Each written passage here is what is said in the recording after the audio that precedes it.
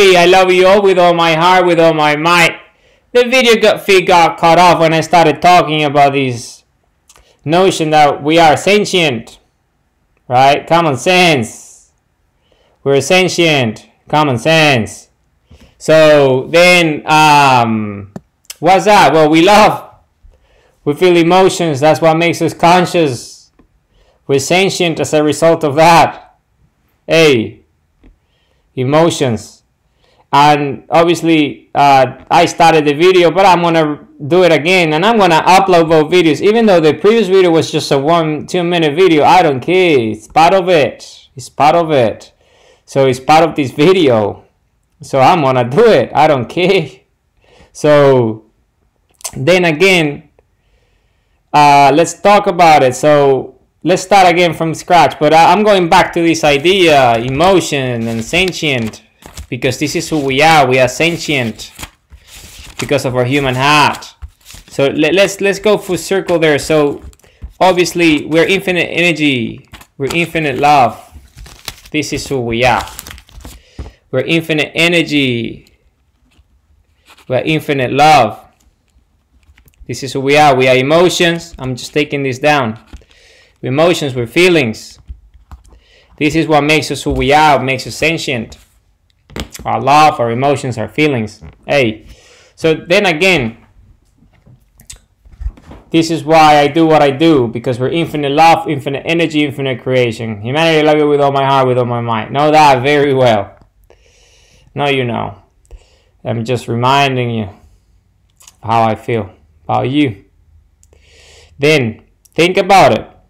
Think about it fundamentally what this means and what this represents. So why are we infinite energy? Why are we infinite love? Why are we infinite creation? Hey, why are we infinite energy? Why are we infinite love? Why are we infinite energy? Because of the human heartbeat. Hey, because of the human heartbeat. Because of the human heartbeat. Because the human heartbeat is the primordial instinct. This is what the human heartbeat is. The human heartbeat is that is a primordial instinct of the human race. We wouldn't exist without the human heartbeat. We wouldn't exist. There would be no such a thing as a human race without the human heartbeat. It's our it's it's part of life. It's the primordial instinct to exist. It's the human heartbeat. It generates the electromagnetic field of life. The spherical light beings that we are that powers the human body so systems go live. We can think, we can be conscious, self-aware, be sentient. We, then again is when the video goes stopped and what makes us sentient? Emotions, love, feelings. That's what makes us sentient. So then, then again, this is who we are. Intelligent, benevolent species. But let's talk about it. Let's talk about it. If we are sentient, it's because we have emotions and feelings. We feel, we're intelligent, we're conscious and self-aware. This is who we are. So then, this is our nature. So the primordial instinct is that, is a human heartbeat, right? Pulse of life, the pulse of creation. But then again, what else happens at the heart? Love. Love happens at the heart. Emotions. We're sentient. Feelings. So then again, our instinct to live is our instinct to love. Simple as that. Why? Because we love our creations. We make love, we have children. Right? It's our creation. We make it love, we having children. And what's our instinct? To love our creation. We love our children, we love our offsprings, and they we raise them and then they themselves become adults and the life cycle repeats. Repeats and repeats and repeats and repeats and repeats to infinity. It repeats to infinity. It repeats to infinity because this is who we are. We're infinite in nature, we're infinite. So we live to love and we love to live. Why? Because heart has a heartbeat, gives us life, the electromagnetic field of creation, making us conscious, self-aware, sentient, so we feel and have emotions. And then, what else happens at the heart? Well, we're sentient, so emotions, love. So you see, we live to love. Full circle.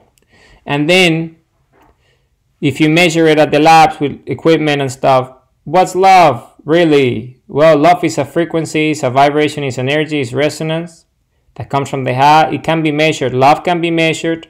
It's the highest frequency, it's the highest uh, energy that can be generated from the heart. It's the highest one. It's the highest one that can be generated from the heart. So it's other emotions that the heart is capable of producing and generating, but they're all lesser, they're all lower frequency, lower vibration. The highest vibration is love. It's this beautiful thing that creates everything. At the biological scale, the creator is love. This is who we are because energy is creation and creation is life and we are life and sentient beings to love. So love is energy, love is creation at the biological scale. We, are, we live to love and we love to live. Why? Because our instinct is to have a heartbeat and to love with our heart. So then obviously it's the highest frequency. So we want to feel good. We want to have a healthy heart because that means we have a healthy life. We're alive. So then what is that? Well, that's a life of meaning, a life of purpose, purposeful life, meaningful life, happy life. This is all what this is It's all what that is. We purpose of life is a life of purpose, a purposeful life, a life of meaning, a fulfilling life, a happy life, the pursuit of happiness, all these notions.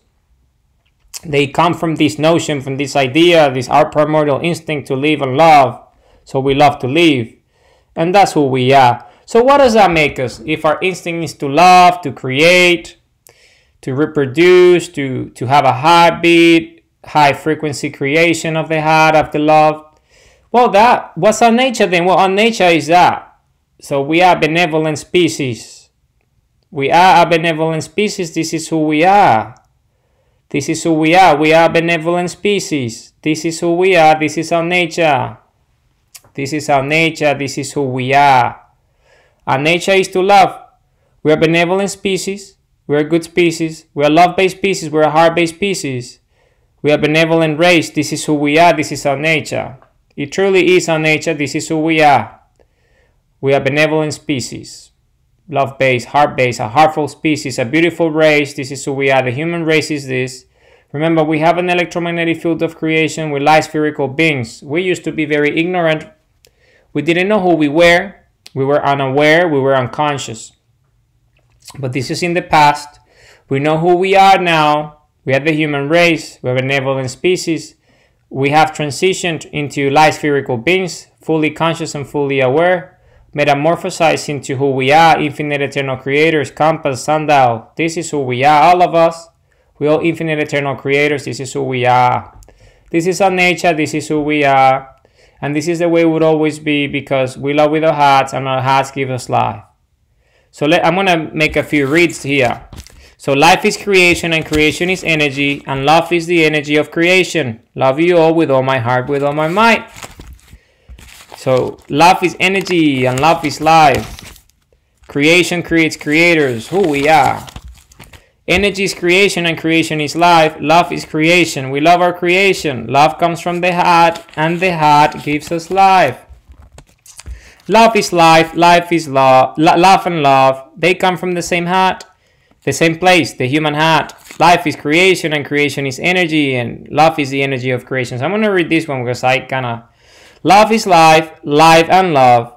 They come from the same place, the human heart. Life is creation and creation is energy. Love is the energy of creation. You see, it's beautiful. It's beautiful. This is who we are. This is our nature. And this is what today's video is about. The fire the ignition, the life itself, who we are, life, love, energy, fire. So it's why.how slash fire. That's why.how slash fire. It's on Substack and on YouTube.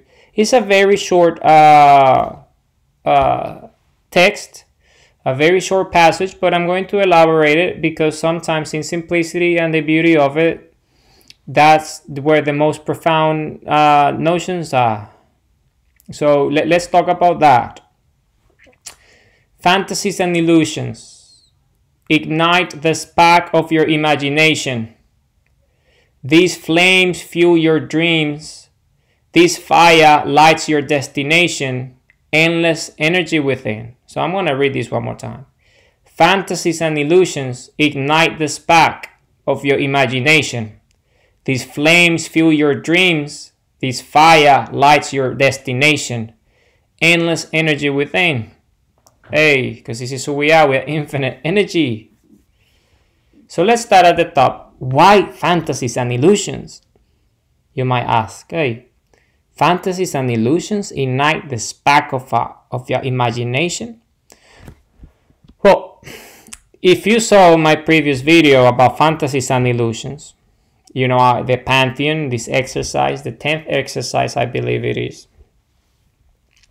It was my Pantheon, my museum, my statues, these leaders and, and, and these uh, defenders that all come from fiction these are fantasies, these are illusions. Why? Because they're illusions, because they're not real.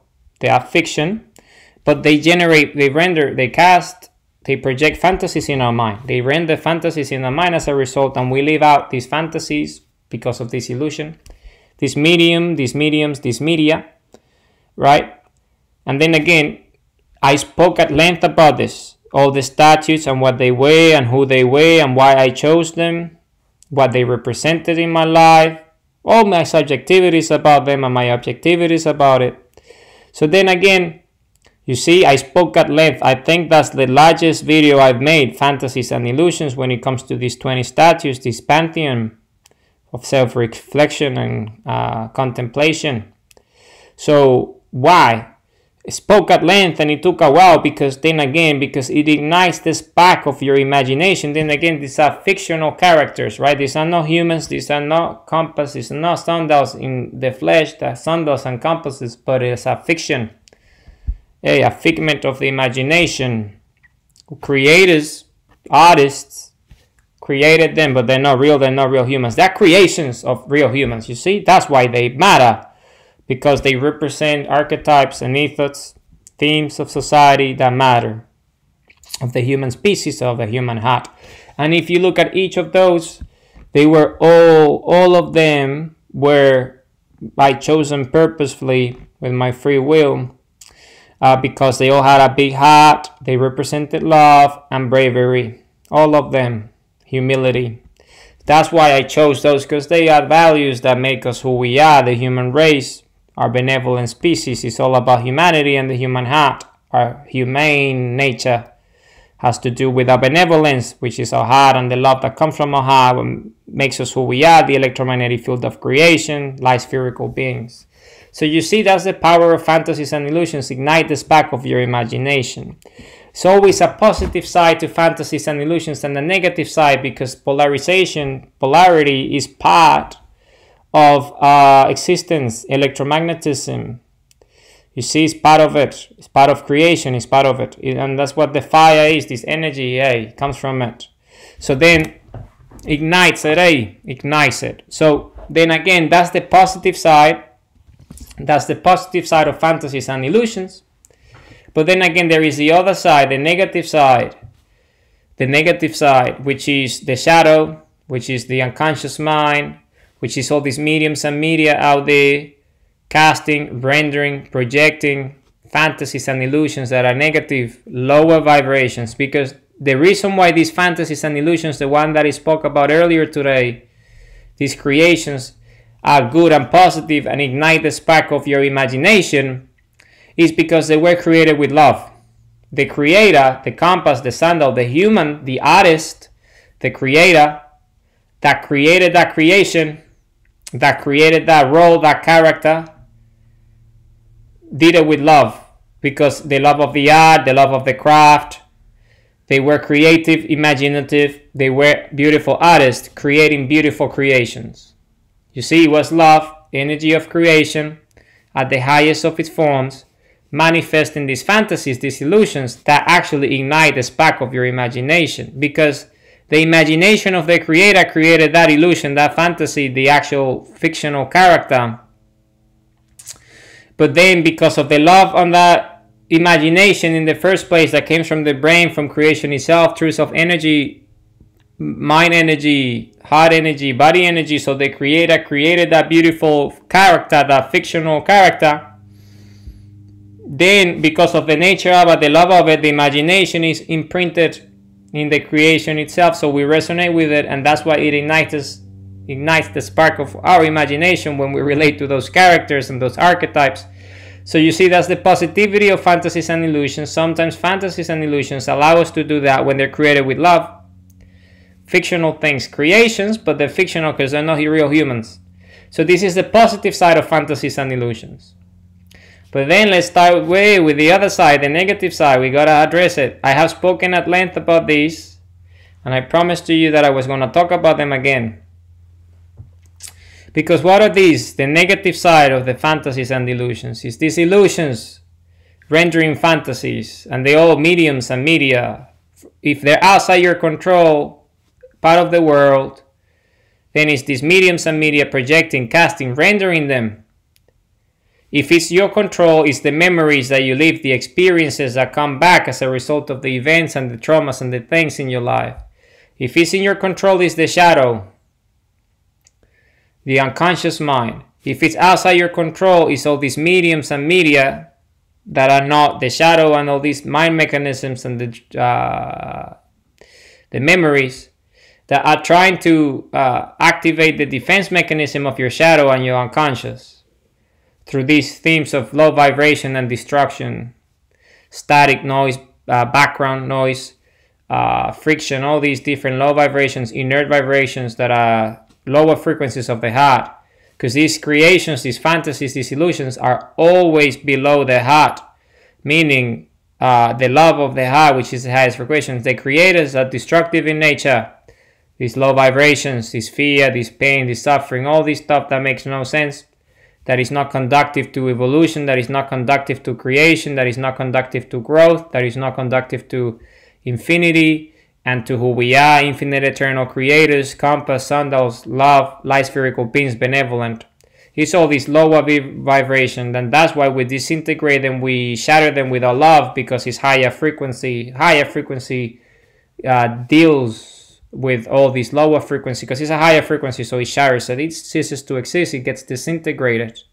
So this is what energy when you have a low frequency bandwidth this is physics and that uh, frequency encounters a higher frequency the lower frequency ceases to exist. It gets depolarized it gets decharged it gets deloaded it ceases to exist or becomes one with it meaning it is because of the frequency and the love uh, of this higher frequency, then that becomes loving as well because it, it, it, essentially becomes one with love because it just the energy coming from the higher frequency elevates the frequency of the lower one and it makes it loving itself and it becomes alive. So, or becomes one with it. It ceases to exist by integrating with the other one. The disintegration uh, happens and then the feedback is just whatever is left is just high frequencies creation. That's what life is all about beaming. And then you can see death and all this low frequency this dead stuff just there. That ceases to exist it gets disintegrated decompos- decomp- decomposition and all this stuff that happens as a result and then life itself uses that as a fuel. And that's at the biological scale but at the energy level is exactly that. It gets disintegrated and absorbed into the higher frequency so that's what it is. And love is that. Love has the ability to do exactly that because love is the highest energy of creation at the biological scale because it comes from the human heart and the human heart gives us life in the first place. So when we encounter all these low frequencies, all these low vibrations emitted, generated, casted, uh, projected, rendered by mediums and media outside our control, whichever medium and media doesn't really matter, news, whatever, technology, it doesn't really matter, whatever, a human, it doesn't really matter whatever it is, uh, is this low vibration, this illusion, rendering a fantasy, then your love for yourself, your electromagnetic field would resonate with it, and then it would just, it won't have an impact on you. It would just ceases to exist in your existence, your perception. It has no add up, so it just moves away into a lower frequency and stays over there where it belongs because if it comes in contact with you you're gonna transmute it. You're gonna it's gonna get disintegrated. Your mind is not really gonna care about it because it's too low of a vibration. So your consciousness your self-awareness who you are it, do, it doesn't really add any value to it. So you just see it observe it and then you absorb it and then you just take the positive out of it which is the message that it always has which is it's a very negative thing. It's just like okay you don't do that. That's an example of what you don't do and if it's a learning and there's a silver lining out of it you learn it as well because it's an experience it's a ment. I have spoken about this before. There's always the and if it's something in your control then it's the shadow the, the, the dreams and the unconscious and the uh, visions and the uh, memories. Then your love heals, recovers, shatters it, and it gets integrated. It gets disintegrated, the shadow, the negativity, but what survives of it, the essence, this like the memory itself that never goes away, is not negative anymore, and that shadow is just there to remind us of, of who we are, our identity, and our true self. So this is how it works because we're electrical, we are electromagnetic, we are polarization, we are who this is who we are. We're infinite eternal creators, we're light spherical beings. So that's the negative side of the shadow and the unconscious things in our control and outside our control. All the things outside our control, mediums and media that are casting and projecting and rendering fantasies and illusions, low vibrations that come in, in, in interact with our force field, then they are designed in a lot of ways to ignite our shadow and our conscious. So our shadow has a defense mechanism triggering all these bad memories and this trauma. So you're paralyzed by fear and all these different things. That's why when it, that happens, then you recognize it immediately, you love it, you neutralize it, disintegrate it, and move on. So this is and you do that with the love of your heart because it's the highest frequency. So this is how it works. This is the mechanism, and it applies to all humans at all scales. And if it's a memory from a previous event or a trauma, then the same. You love it and you move on and decharge it, deload it, disintegrate it, and then that energy gets freed up so you can create, be more creative with your mind, with your love, with your imagination. And that's how you will use that in that fantasy, that illusion, ignite the spark of your imagination. You see, that's how you do it. It ignites the spark of your imagination, your brains, your idea, your true self, your vision because of all the lessons that you learn. The, if it's a very positive fantasy and illusion, because it's a, a, beautiful creation with love by an actual creator, Compass Asanda, like these characters that I'm mentioning, that are lessons there, that teaches that are part of my pantheon. We all have that. We can choose to have our pantheons of fantasies and illusions and our pantheon of heritage and legacy of actual real human beings. And then, of course, uh, that's what it does so the positive side of fantasies and illusions does that ignite the spark of your imagination. But then the negative side, all these mediums and media that are not necessarily conductive of good stuff, all these low vibration stuff, these bad things, static noise, the, uh, the frictions, the shadow, conscious mind, all this stuff that's bad. We know all these low vibrations, all this stuff uh, once we disintegrate it, once we shatter it, once we deal with it, it gets deloaded and discharged. Then whatever remains that gets fed back into positivity, the experience, the memory, then that can also, because it transcends, you see, transmutes into positivity because you change the state of it, low frequency into high frequency, because this is physics, this is energy, this is how energy operates. It's electromagnetism. So uh, then whatever is good that you magnetize and attract to you the, the, the essence of what that, that is the experience itself that taught us the lesson the humility of it the mental the experience that you use as a foundation to keep on developing then that is positive now so you can ignite that as a spark of your imagination and then when all these events from the past or the uh, that are dealt with then you got the present moment and then you are loving your heart based because this is our instinct, this is who we are. So new fantasies, new solutions out of your control in way of events, trying to per, you know do something. Then right away you transmute them into positivity immediately, and then learn from it, and it just boosts your imagination, boosts your play. And this is what these flames fuel your dreams. Hey, because fantasies and illusions ignite the spark of your imagination, your brain, your mind, your dream, your true self energy, your destination, where you're headed as a creator of your own choice, your free will. You manifest your purpose by taking purposeful daily action here and now. Because of these, because of our capability to do this, fueling is igniting the spark of our imagination because of fantasies and illusions. This is the power of fantasies and illusions. This is why it's in the title of the book, Fantasies and Illusions, uh, Compass, the Quest for Free Will because they have a value. There's a reason why there's fantasies and illusions in the first place because they really ignite the spark of our imagination. Once we're capable of understanding who we are as compass and understanding our nature of love, our high frequency and our vibration, our benevolence, light spherical beings, who we are, understand our free will. Because the quest of free will is that, it's the quest of life, it's the quest of creation. Because free will is all about creation, choices, manifesting reality, manifesting free will, manifesting true self manifesting our dreams, manifesting our purpose, and it's all that because of our compass, infinite energy or heartbeat, light spherical beings, sundials. Because of it, then we can use that energy of the fantasy and illusion that's been transmuted and ignite our imagination and use it as a fuel. Because these flames, this fire, hey, this fantasy, this illusion, these flames fuel your dreams. Just like I showed you uh, in the example of using the pantheon of fantasies and illusions. I show you how I contemplate and self reflect, and then what happens as a result of that? My dreams say because become stronger, my true self becomes stronger, and then I, you know, I say, for example, Obi Wan Kenobi, which is on, on my list, eh, on my pantheon. He's one of my statues there, my monument, eh, my museum. I, you know, sometimes contemplate and ask him, meditate over it. And I go to Obi Wan and I ask him, Obi Wan, help me.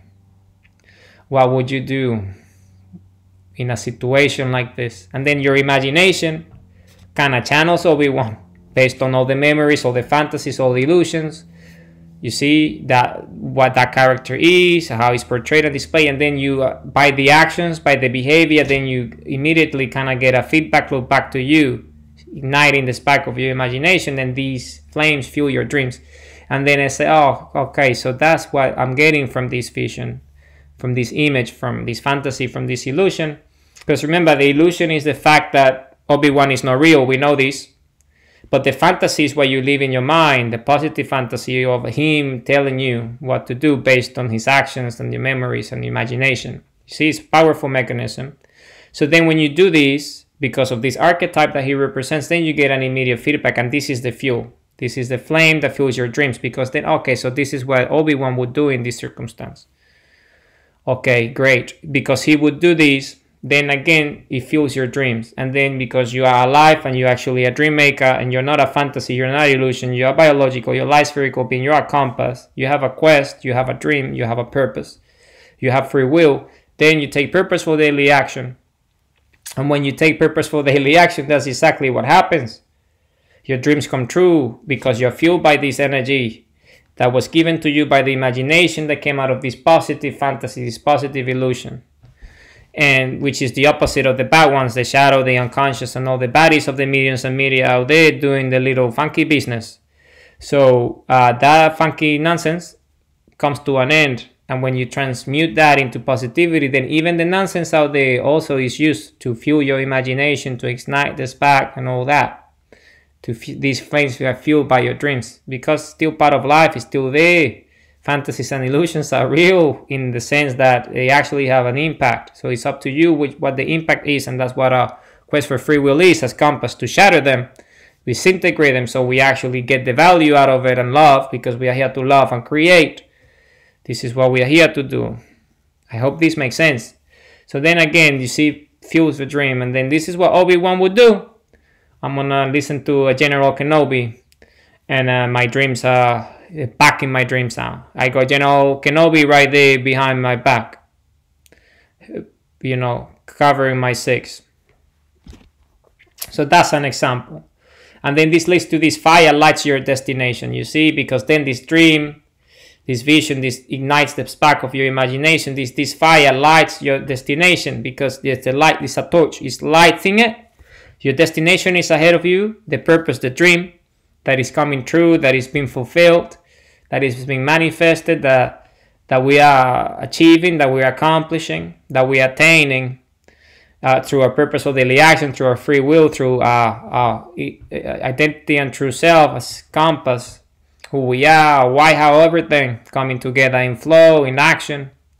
So big time and energy, everything is coming together as sundials, you know, opening the portal, building the bridge, supercharging our brain, supercharging our mind, supercharging our hearts, being more being braver, more courageous, taking more action, loving more, creating more, imagining more, stronger visions of ourselves. All these coming together as one, as infinite eternal creators that we are, benevolent species. And then this fire, this can you see? The fire, this light, this fire lights your destination. You see, this imagination, the dream, the power of a heart the power of our creation that comes from the heart, The electromagnetic field of creation energy itself is manifested in the flesh through the human heartbeat, so we're conscious and self aware. So this fire lights your destination, the dream, and then we go there we can see the path and we just go, have a clear true north. You see? It's beautiful. And then endless energy within. Because we are endless, A, we infinite. Know thyself. Spoke about this, the peace within, our nature, our infinite nature. Why is infinite in nature, and we can reason about why with our brains, our consciousness and self-awareness, and what gives us consciousness and self-awareness. The human heartbeat, which is energy in the first place, and with spherical light beings, just like the sun is, and the earth and their electromagnetic fields and creation itself. You see, it's all connected. It's endless energy within. It's being one with everything. Understanding this is the key to know who we are, identity and true self. We're infinite creators because of it. We're infinite eternal creators because we're infinite energy, and we're infinite energy because we're infinite love, because we are life and we are conscious and self-aware. This is the fire. The fire. So fantasies and illusions ignite the spark of your imagination. These flames fuel your dreams. This fire lights your destination, endless energy within. Fantasies and illusions ignite the spark of your imagination. These flames fuel your dreams. This fire lights your destination, endless energy within. Humanity, I love you all with all my heart, with all my might. We are a benevolent species. We are the human race. This is who we are. We are a heartful species, a heart-based species, a love-based species. We're light spherical beings. This is our nature. This is who we are. We're infinite love, infinite creation, infinite everything. Because this is who we are. We're the citizens of the Republic of Planet Earth. We're the citizenry of the Republic of Planet Earth. We're the defenders of the Republic of Planet Earth. We are the leaders of the Republic of Planet Earth. I love you all with all my heart, with all my mind.